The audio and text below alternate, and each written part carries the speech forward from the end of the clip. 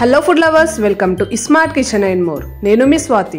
ఈరోజు మన recipe healthy laddu flax seeds laddu. ఇది ఎలా ప్రిపేర్ చేయాలి? ప్లస్ దాని గురించి బెనిఫిట్స్ వీడియోలో చెప్తాను. వీడియో మాత్రం స్కిప్ చేయకుండా మొత్తం చూడండి. అలాగే వీడియో మాత్రం లైక్ చేయండి కంపల్సరీ. ఎందుకంటే మీ లైకే నాకు ఇంపార్టెంట్ ఫస్ట్ మనము ఒక ప్యాన్లో హాఫ్ కప్ బాదం తీసుకోవాలండి. తీసుకొని బాగా రోస్ట్ చేయాలి. బాదం అనేది ఈ ఫ్లాక్ సీడ్స్ లడ్డుకు చాలా టేస్ట్ వస్తుందని నేను బాదం వాడాను. బాదం కొంచెం కాస్ట్లీ అనిపిస్తే స్కిప్ చేసుకోవచ్చు. తినని పిల్లల కోసం అయితే ఈ బాదం వేయండి కంపల్సరీ. అలాగే అదే ప్యాన్లో హాఫ్ కప్ ఫ్లాక్ సీడ్స్ తెలుగులో అవసగింజలు అంటారు మనకు ఫ్లాక్ సీడ్స్లో ఒమేగా త్రీ ఫ్యాటీ యాసిడ్స్ ఎక్కువగా ఉంటాయి. అలాగే ఫైబర్ కూడా చాలా ఉంటుంది. కొందరు డైటింగ్ చేసి పక్కకు కావాలనుకునే వాళ్ళకైతే డైలీ ఈ ఫ్లాక్ సీడ్స్ తినడం వల్ల వాళ్ళకి కొలెస్ట్రాల్ కూడా తగ్గుతుంది. అలాగే డైజెషన్ కూడా ఈజీగా అవుతుంది. డైలీ ఒక వన్ స్పూన్ వరకు ఫ్లాక్ సీడ్స్ తినాలి. అంతే అండి. ఎక్కువ కూడా తినొద్దు.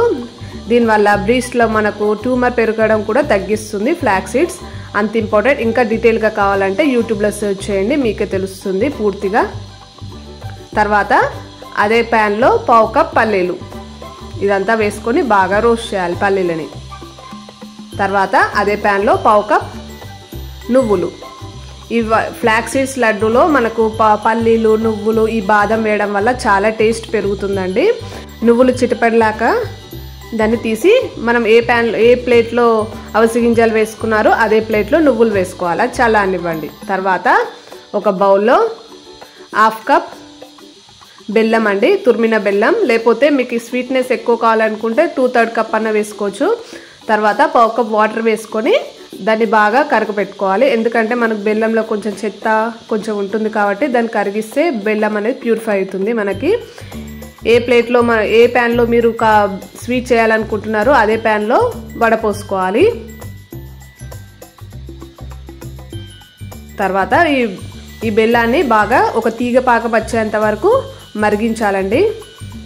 అది వచ్చేలోపు మనము మనకు చల్లారి చల్ల చల్లారిపోయిన బాదం పల్లీలు ఉన్నాయి కదా ఇది మిక్సీ పట్టుకోవాలి. కొంచెం బరకగా మిక్సీ పట్టుకోవాలి. నేను బాదాము పల్లీలు ఒక ఒకసారి మిక్సీ పట్టుకున్నాను. తర్వాత ఫ్లాక్ సీడ్స్ ఇంకా నువ్వులు ఒకసారి మిక్సీ పట్టుకున్నాను.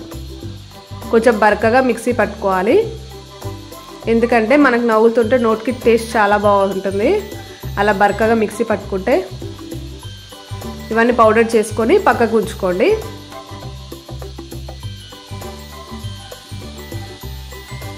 తర్వాత మనకు బెల్లం అనేది తీగ పాకం వచ్చేసింది. దాంట్లో వన్ టీ స్పూన్ నెయ్యి వేసుకోవాలి. నెక్స్ట్ నెయ్యి అనేది టేస్ట్ కోసం అండి. తర్వాత కొంచెం ఇలాచీ పౌడర్. నెయ్యి వన్ టీ స్పూన్ అయినా టూ టీ స్పూన్స్ అయినా ఎంతైనా వేసుకోవచ్చు.